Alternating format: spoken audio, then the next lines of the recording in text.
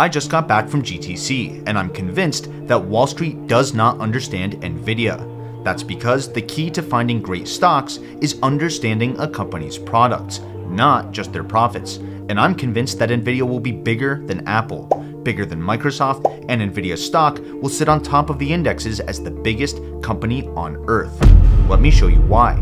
Your time is valuable, so let's get right into it. First things first, I'm not here to hold you hostage. Here's everything I'm going to talk about in this video. I'll cover NVIDIA's insane new Blackwell GPUs. I'll talk about a few things that investors need to know about Blackwell's design, costs, and margins, the networking technologies that NVIDIA built to scale Blackwell data centers to mind-boggling sizes, and of course, whether I'm buying NVIDIA stock as a result, and where I'd put it on the list that I made at the start of the year to get rich without getting lucky. But let me point out a few quick things before I dive into NVIDIA's insane new Blackwell GPUs. First, NVIDIA is not just an AI hardware company. They're an end-to-end AI computing platform, and NVIDIA showcased a lot of software at GTC. I spent my time at the conference learning as much as I can about every part of this business. I interviewed NVIDIA's executives, I attended close to a dozen expert panels and sessions. I got my hands on new products and service demos, everything that I think the mainstream media and Wall Street analysts are going to ignore until it's too late.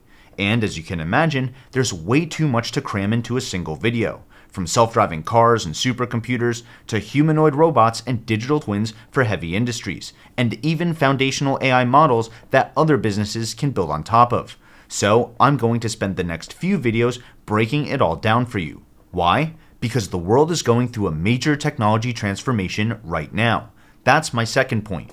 Big businesses are changing everything from the hardware they run on, to the kinds of tools and processes they build on top of it, to the services and products that they sell on top of that. And like I've been saying for a couple years now, NVIDIA's data center hardware is at the center of this transformation. And third, that's why I think NVIDIA will become the biggest company on the planet. Just like the iPhone becoming the platform of the mobile computing era made Apple the biggest company in the world, Blackwell and Hopper will be the platforms of the generative AI era. And if you still think that big companies can't get bigger, remember this. Warren Buffett didn't invest in Apple until 2016, 10 years after the iPhone came out. Apple was the biggest company in the world by market cap for five years when Warren Buffett bought it, and Apple stock is still 50% of his portfolio today. I don't want to wait 10 years to find the next iPhone or hold the next Apple stock. That's why I'm making these videos now. Alright, one last point and then I'll dive right into NVIDIA's hardware. I get asked all the time how I make these videos, and I won't lie, it can be a real mental health battle. I like to do everything myself, so my main challenge is burnout. I get this brain fog that drains my energy and crushes my productivity for days, and I didn't think that anyone could relate. So instead of talking to someone, I would just ignore it or try to power through it, which would just make me fall even further behind. That's why I'm so excited to tell you about BetterHelp, the sponsor of this video. Whether you're stressed out about balancing work and family, or you're dealing with depression or anxiety, you are not alone, and getting help is nothing to be ashamed of. And honestly, it's never been easier. It can be fully remote and online, and after answering a few questions, BetterHelp can usually match you with a professional therapist within 48 hours. That's huge because they make it easy to switch to a new therapist at no additional cost without worrying about insurance or who's in your network. That way you can focus on finding the right therapist for you. Between running my own business and preparing for my wedding next year, my mental health is something I'm investing in more and more. So if you want better help with your mental health, check out the link in the description or go to betterhelp.com slash TSYOU to save 10% off your first month. And a big thank you to BetterHelp and to you for supporting the channel. All right, I can't wait anymore. Let's talk about Blackwell. The rate at which we're advancing computing is insane, and it's still not fast enough, so we built another chip. Hopper is fantastic, but we need bigger GPUs. And so, ladies and gentlemen, I would like to introduce you to a very, very big GPU. This is Blackwell, the successor to NVIDIA's Hopper GPUs. And just like Hopper, Blackwell has two variants, the B100 and the B200. The B100 is a drop in replacement for the H100, which means that data centers and supercomputers can swap out an H100 tray and literally put a B100 tray in its place. That's important for investors because it means that Nvidia won't have a hard time ramping up Blackwell sales since the infrastructure to support the B100s is already deployed anywhere that there's an H100 today. The B100 is a whopping 80% faster than the H100, while drawing the same 700 watts of power which means the entire Blackwell architecture scales much better than Hopper in data centers and supercomputers. That's why they're going to want to phase in the B100s over time. On the other hand, the B200 is NVIDIA's new state of the art chip. It's anywhere from 10 to 25% faster than the B100 depending on the workload, while drawing around 1000 watts instead of 700. Compared to Hopper, these new Blackwell chips perform a whopping 4 times better at training AI models and an insane 30 times better for AI inference. But how NVIDIA made it happen is really important for investors to understand. This is the most advanced GPU in the world in production today. This is Hopper. This is Hopper. Hopper changed the world. This is Blackwell. It's okay, Hopper. 208 billion transistors. And so, so you could see, you, it, I can see, there, there's a small line between two dies. This is the first time two dies have abutted like this together in such a way that the two, chip, the two dies think it's one chip. There's 10 terabytes of data between it, 10 terabytes per second. So that these two, these two sides of the Blackwell chip have no clue which side they're on. There's no memory locality issues, no cache issues. It's just one giant chip. When we were told that Blackwell's ambitions were beyond the limits of physics, uh, the engineer said, So what? And so this is what, what happened. So there are two important points here. First, this Blackwell GPU actually combines two dies into a single chip and connects them with a 10 terabyte per second link so that they act as one GPU. This is a really clever chip design, but two dies, an ultra high speed link, and a bigger total area for advanced packaging means that Blackwell costs over twice as much to make as Hopper, and higher unit costs means lower margins. Personally, I think the trade off is worth it in the short term, because Blackwell's insane performance gives NVIDIA a lot of pricing power compared to other GPU makers and that flexibility is what lets them get even more businesses onto the CUDA platform at a time where every data center and cloud service provider is scrambling to get as many accelerators as they can. During a gold rush, getting everyone on your picks and shovels is what matters most.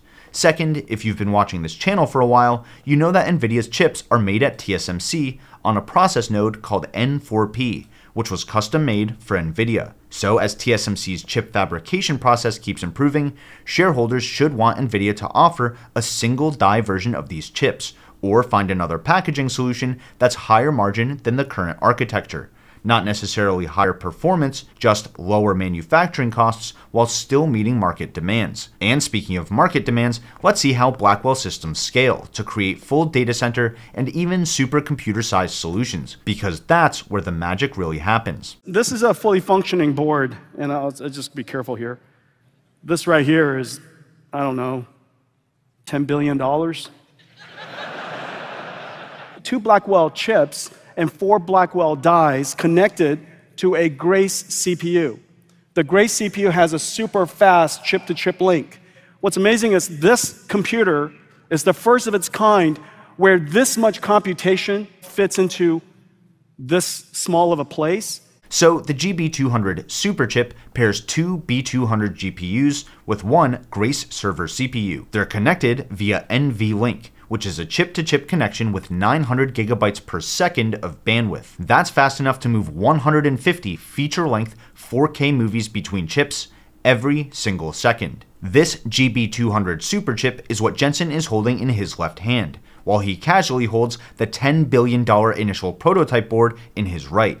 This right here is, I don't know, $10 billion?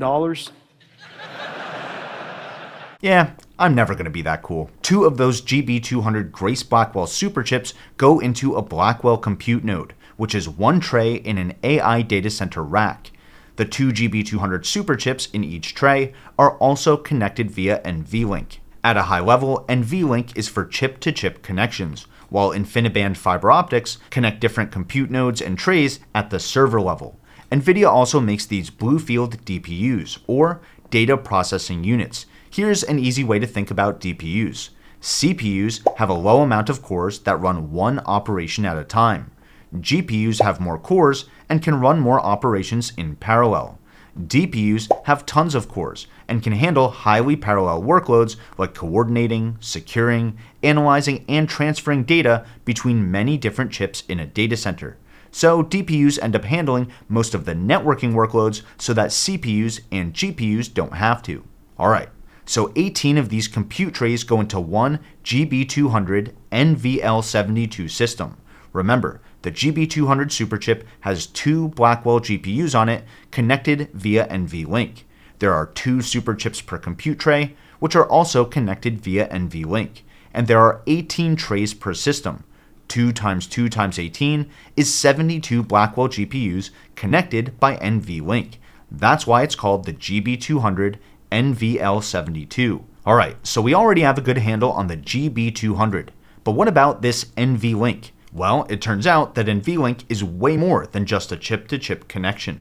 The rate at which we're advancing computing is insane, and it's still not fast enough, so we built another chip. This chip is just an incredible chip. We call it the NVLink switch. It's 50 billion transistors. It's almost the size of Hopper all by itself. This switch chip has four NVLinks in it, each 1.8 terabytes per second. What is this chip for? If we were to build such a chip, we can have every single GPU talk to every other GPU at full speed at the same time.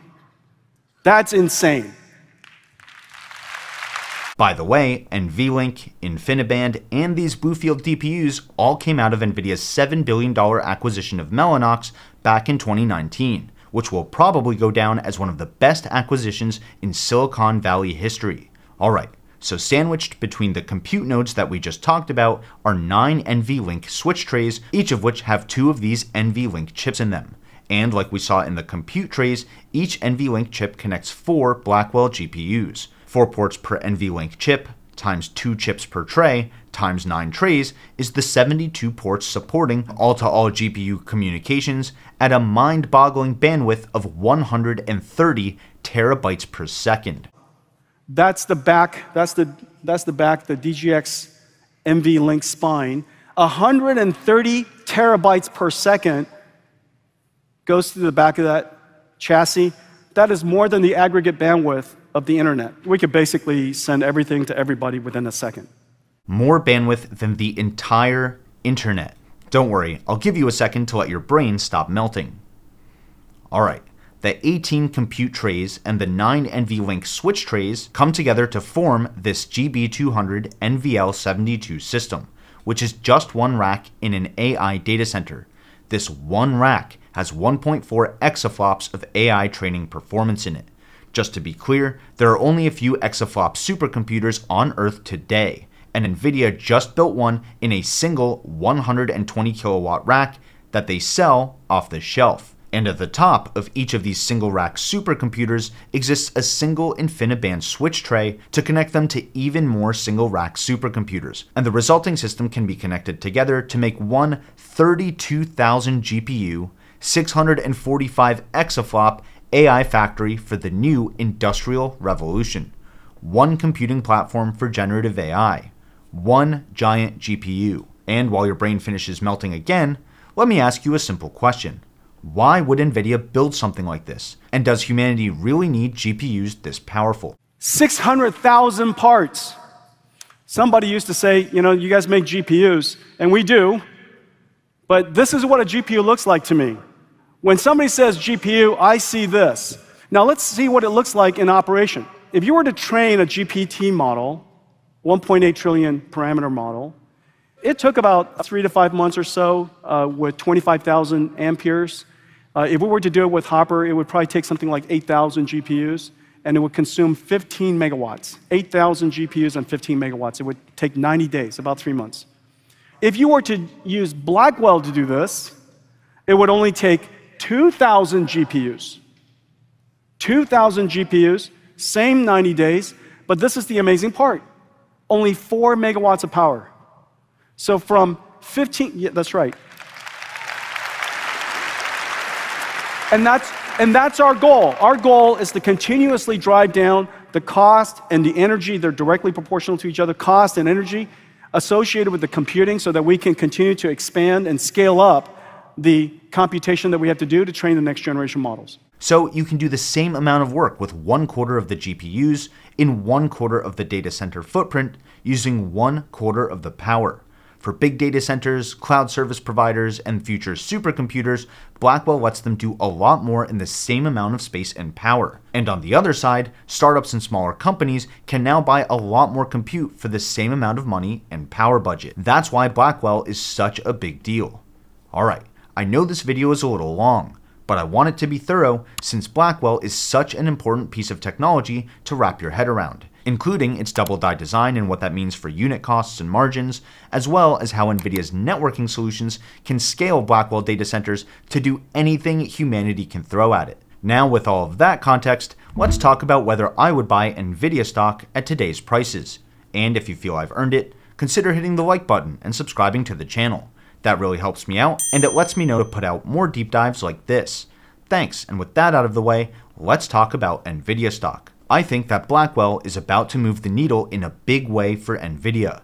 Blackwell is not just a new data center GPU, it's an entire compute platform. Chips based on the Blackwell architecture will also go into self driving cars, smart factories, and even humanoid robots, all of which I'll cover over the next few videos because I really believe that Nvidia stock will sit at the top of the indexes and pension funds and everyone's portfolios for years to come. So, with everything I've learned from NVIDIA GTC, I'm moving NVIDIA up one spot on my list of stocks to get rich without getting lucky.